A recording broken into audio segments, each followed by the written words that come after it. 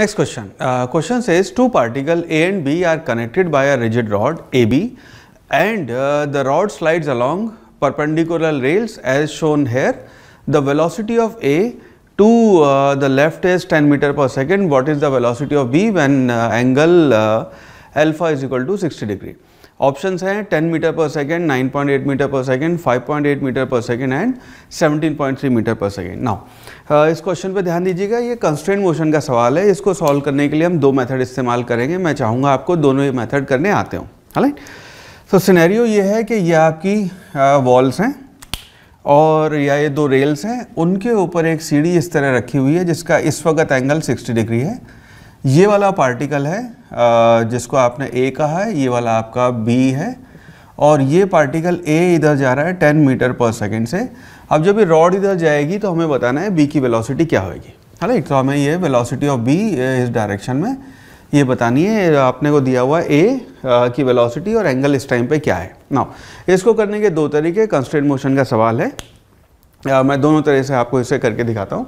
Constraint motion का सवाल है। कंस्ट्रेंट मोशन में अपनी लिमिटेशन ये है कि रॉड की जो लेंथ है वो हमेशा फिक्स रहेगी। आपकी रॉड रिजिड है वो हमेशा उसकी लेंथ में कोई चेंज नहीं आएगा हमेशा उसकी लेंथ सेव रहेगी। ना अगर इस तरह के सवाल होते हैं जहाँ पे कंस्टेंट मोशन इन्वॉल्व होता है वहाँ पे हम ये कहते हैं कि इस वेलोसिटी का कंपोनेंट अलोंग द रॉड इस वेलोसिटी का कंपोनेंट अलोंग द रॉड दोनों सेम होंगे। Now what that means is अगर हम इसका एंगल लें तो ये एंगल 60 डिग्री है, ये वाला एंगल 30 डिग्री हो जाएगा।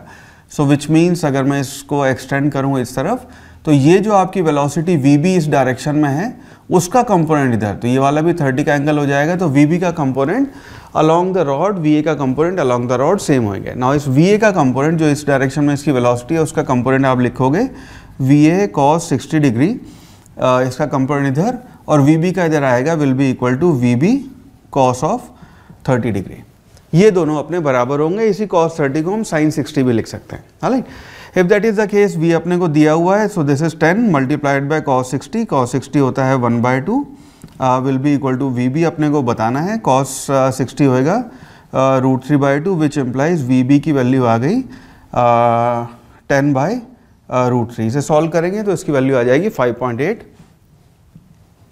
मीटर पर सेकेंड हालाँकि So this will be our uh, final answer. Option number C 10.8 uh, uh, sorry 5.8 metre per second ये अपना आंसर होएगा।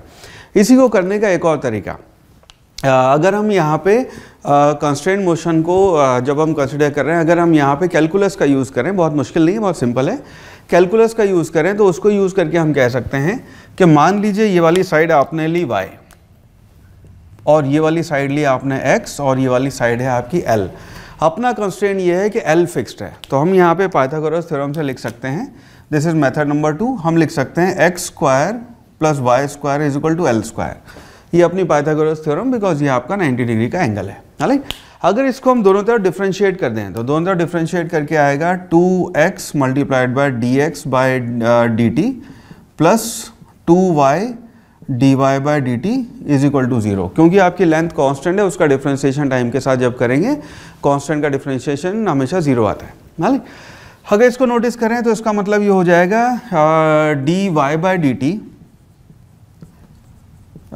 will be equal to इस सबको हम उधर ले जाएँ डिवाइड कर दें will be equal to minus times X by Y multiplied by D X by D T now D Y by D T अपने को पता है कि वाई कैसे चेंज हो रहा है। वाई चेंज हो रहा है वी बी और वाई ए कैसे चेंज हो रहा है? दैट इज़ वी है तो इसकी वैल्यू अगर हम यहाँ पुट कर दें तो वाई हो गया अपना D Y by D T हो गया वी बी ये हो गया माइनस एक्स बाय वाई अगर ये 60 डिग्री का एंगल है तो एक्स बाय वाई बनेगा अपना कॉट 60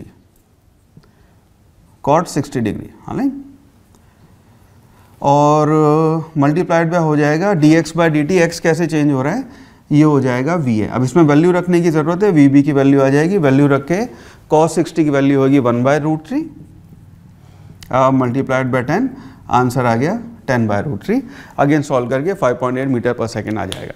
एक बहुत ही इंपॉर्टेंट चीज़ है जो आपको ध्यान देने की ज़रूरत है कि ये सवाल, इसका आंसर और इसका सोल्यूशन कुछ किताबों में गलत दिया हुआ है। स्पेशली आर्यन तो Disha I was referring to them उसमें इसका सोल्यूशन गलत दिया है। तो बहुत ही इंपॉर्टेंट वो है कि आपके फंडामेंटल्स क्लियर होने चाहिए। सवाल सॉल्व कैसे करना है आपको पता होना चाहिए। सिर्फ़ आंसर याद होना या ध्यान होना सफिशेंट नहीं है। Right I hope this has helped मैं उम्मीद करता हूँ ये सॉल्यूशन आपको समझ में आया होगा। Right thank you